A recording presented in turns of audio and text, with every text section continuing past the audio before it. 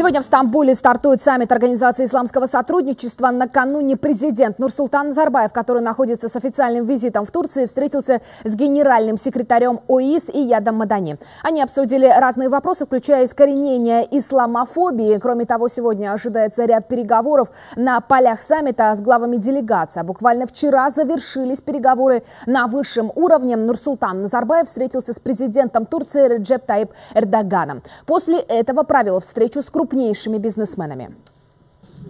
Кадры со встречи Нурсултана Назарбаева и Реджепа Таипа Эрдогана турецкие телеканалы транслировали в прямом эфире. К этим переговорам тут особенное внимание. Нурсултан Назарбаев – признанный лидер тюркского мира. На протяжении последних лет именно Казахстан стал в авангарде процессов по сближению тюркских стран.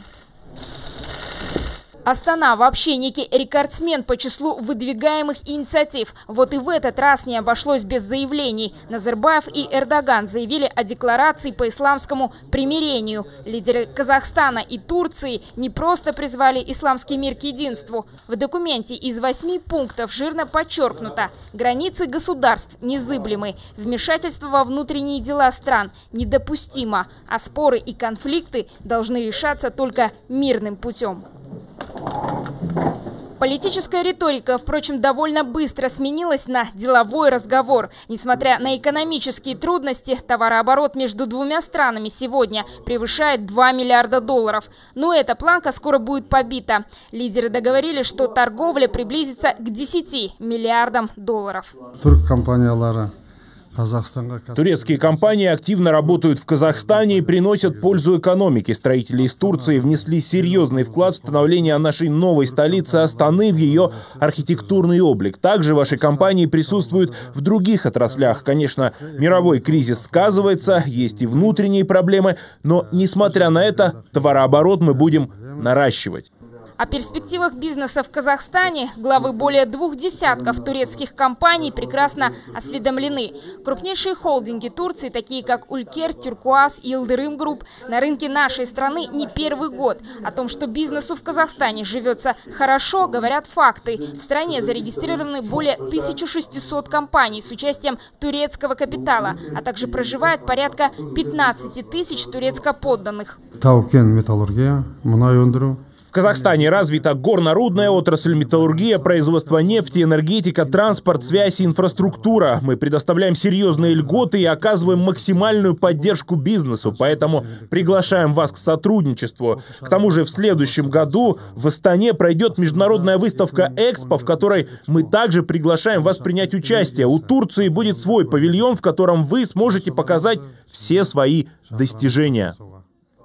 На такие переговоры, как правило, приглашают компании первого эшелона. Вот, к примеру, Илдерим Групп, холдинг, глава которого входит в когорту так называемых капитанов турецкого бизнеса. Промышленная группа состоит из предприятий, которые специализируются в 10 различных отраслях. Крупнейший в мире производитель хромовой руды, а также второй по величине производитель высокоуглеродистого феррохрома. Холдинг задумался о строительстве металлургического завода в Казахстане. Казахстан в горнодобывающей промышленности, металлургии, энергетики и в сфере логистики мы планируем увеличить объемы инвестиций. В ходе встречи глава государства отметил, что выражает поддержку нашим планам. И до сих пор со стороны вашего правительства не было никаких препятствий. Надеюсь, мы продолжим сотрудничать на взаимовыгодных основах. Турецкие предприниматели, те, что не ориентированы на промышленность, готовы развернуть в Казахстане совместное производство ковровых изделий, пищевой и кондитерской продукции, в чем традиционно сильны турки. В рамках визита состоялся бизнес-форум, по итогам которого а, более чем на 500 миллионов долларов США были подписаны соглашения меморандумы, доложили о них. А, состоялся заинтересованный разговор. Все выступающие отмечали большой интерес к предстоящей приватизации, особенно в части энергетических компаний, э, транспортных компаний, и отмечали, что это очень серьезный прорывной шаг со стороны Казахстана и привлекает внимание больших компаний.